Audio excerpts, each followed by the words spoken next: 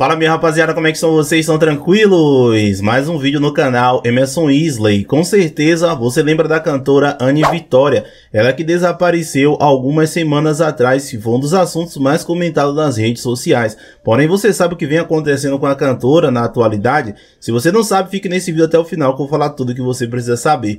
Mas esse vídeo é o conteúdo, eu gostaria de pedir para você que está chegando aqui agora, primeiramente, seja bem-vindo ao nosso vídeo canal. Não se esqueça de se inscrever aqui embaixo, ativar o sininho de notificações e, é claro, deixar o seu like para você ser lembrado toda vez que eu postar conteúdos novos aqui. Rapaziada, eu gostaria de bater a meta de 800 likes nesse vídeo, porque assim o YouTube vai entender que você está gostando dos nossos conteúdos e vai compartilhar ele para mais pessoas. Como eu para vocês anteriormente, dessa vez vamos falar da cantora Anne Vitória. Com certeza vocês lembram desse caso. Inclusive na época eu trouxe cerca de 2 a 3 vídeos falando sobre esse assunto.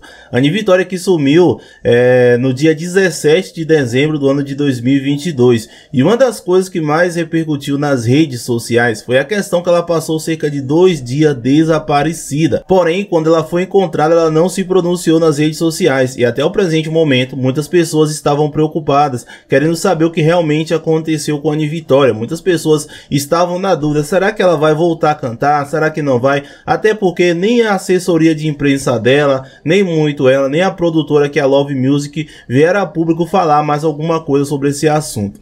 Mas o que que, que acontece, rapaziada? Nessa última sexta-feira, acredito que foi a assessoria de Anne Vitória acabou que emitindo ali uma nota e falando falando o que realmente vem acontecendo com a cantora no presente momento. Eu vou mostrar para vocês o que é que essa nota fala. Hoje me sinto um pouco melhor em conversar sobre tudo que aconteceu e sobre tudo que venho passando. Esses dias foram de auto reconhecimento e reflexão. Há um mês atrás vivi um momento delicado e todos vocês acompanharam. Desde que nasci, vivi junto com minha família no interior da minha cidade. Uma vida simples na fazenda, sem muita exposição e responsabilidades. Desde a primeira vez que eu apareci em um programa de televisão, minha vida mudou completamente. Tive que sair de onde morava para tentar outras oportunidades. Isso sempre foi o meu sonho, cantar e ser reconhecida pelo meu talento e poder ter uma vida melhor. E isso graças a Deus e a vocês que gostam de mim e do meu trabalho, estou conseguindo. Porém, existe o ônus e o bônus. Como tudo nessa vida, saí de um lugar onde nasci e me criei mexeu comigo e com o meu psicológico de uma forma negativa. E de uma hora para outra, vi vi morando em outra cidade que eu nunca tinha andado antes, com minha mãe e minha irmã em um apartamento longe de tudo e de todos que sempre me deram suporte. Em um ato irresponsável, me desesperei e saí naquele dia sem avisar a minha mãe. A minha falta de maturidade me fez sair sem avisar, mas na verdade eu só queria sair para pensar se realmente era a vida que eu queria, se eu era capaz de dar conta de tantas responsabilidades, se realmente valia a pena estar longe de casa e de minha família.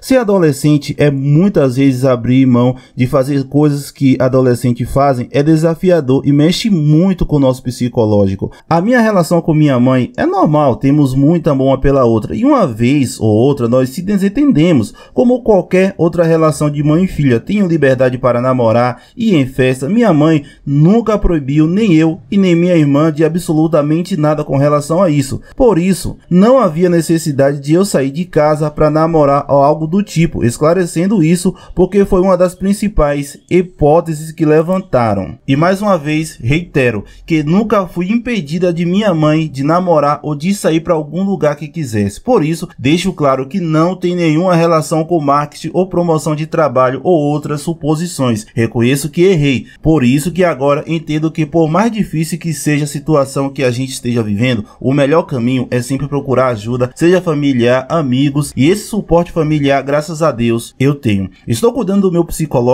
dando início ao acompanhamento profissionais que vão me ajudar a lidar melhor com todas essas mudanças que estão acontecendo em minha vida. Peço desculpas por tudo os transtornos que causei, vou levar tudo isso como aprendizado. Sou muito novo, sei que vou errar outras vezes, mas espero aprender com esse erro, aprender a me abrir e falar sobre o que sinto com minha mãe e família, para que juntos possamos é, encontrar a melhor solução para que foge do meu controle psicológico. Obrigado a todos que se preocupam comigo, os meus fãs, amigos e familiares pelas mensagens. Vou ler com muito carinho todas. E aos poucos vou voltando a aparecer por aqui e postar, meu, postar meu trabalho. espero que respeite esse momento que estou vivendo.